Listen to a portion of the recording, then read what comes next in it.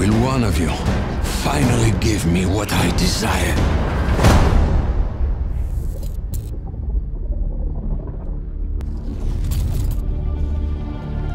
Hehehehe